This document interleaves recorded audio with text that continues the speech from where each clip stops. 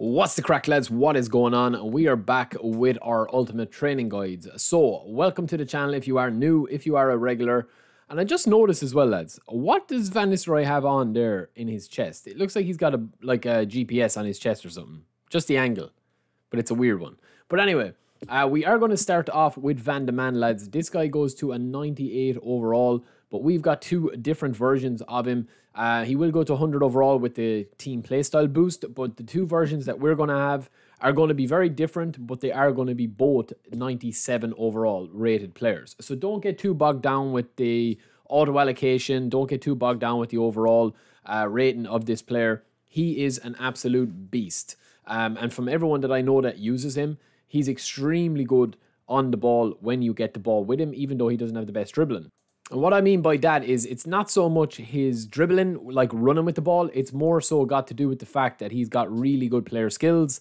And of course, the shooting skills, the one touch pass, and the low lofted pass will mean that you don't really need to boost up his passing that much. If you've got a centre forward that has got one touch pass, you don't need to train up his passing because look, at the end of the day, when you pass the ball to your centre forward, unless he's a deep line um, striker or deep line forward or playmaker type role that you're having him, like Messi coming deep or Bergkamp coming deep, getting the ball, collecting it, and spinning away with it, and either passing it off or else bringing others into the play, then I don't think you really need to focus too much on passing. But as we said, he does have a load of different player skills chip shot control, rising shot, long range shooting, acrobatic finishing, first time shot, and then, of course, he's got heading as well as Marseille turn. So I actually like the look of this card. I think he's kind of a different type of fox in the box than you might be used to. We will have an alternative as well that I will show you towards the end. But for this one, to keep it sharpish, we are going to be heading over to eFootball DB. And I'm going to show you the two versions of him that we've trained up.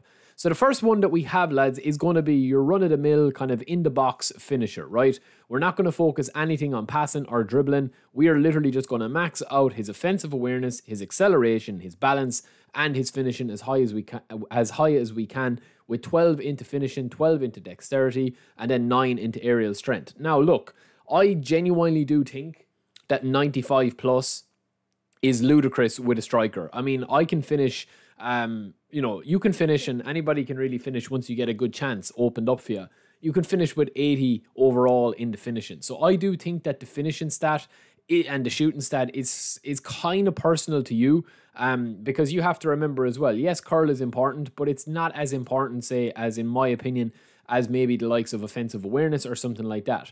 So you know, potentially, if you wanted to get Van Nistelrooy with 90 finishing, right, and pretty much with the boost have 90 acceleration as well, you could do that, where he's going to have 98 offensive awareness. He's going to get the boost with his form arrow, and that's going to shoot up to the 90 range. And you're also going to have 90 finishing. So, I mean, that would be an incredible card to have. Like 98 awareness is going to get the boost, 90 plus finishing with the boost. Header is going to be nearly 90. Kick and power, jump, and physical contact are all going to be low 80s. And then you're going, you're also going to get have the acceleration 88 as I said, it is kind of subjective to how good you are at finishing. You know, you can find that sweet spot yourself, um, depending on how you would like to play with him. But literally, all this card is for, and this version, this build, this ultimate guide of him here with type uh, A or this option A is going to be getting the ball into the box to him as best as you possibly can, and then obviously being able to. Um, being able to finish as quickly and as effectively as you possibly can. We're not going to focus too much, as I've said already, on the actual uh, lower body strength. We don't need speed, stamina, or anything else with this card. It is literally offensive awareness, finishing, and acceleration maxed to the nines, right?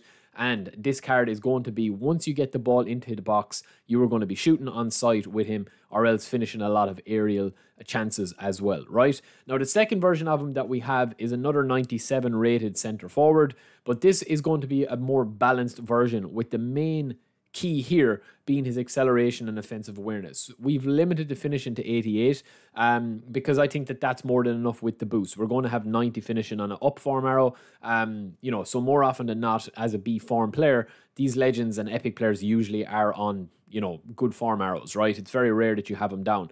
Um, and I do like this card here. Uh, a little bit more, I would say, because of the offensive awareness, the acceleration, and the fact that we have a bit of dribbling as well. So you can see here the main stat that we're looking for here is to get the tight possession over 74, 75.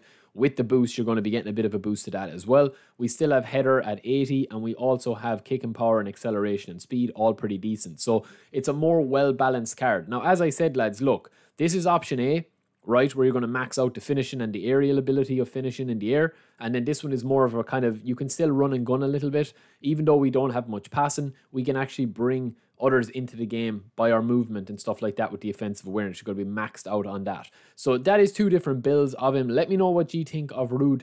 Ruud by Ruud Van Nistelrooy. Let me know what you think of, of these training guides and if you would um, want any more, I will be doing them as we go through it. I said about an alternative.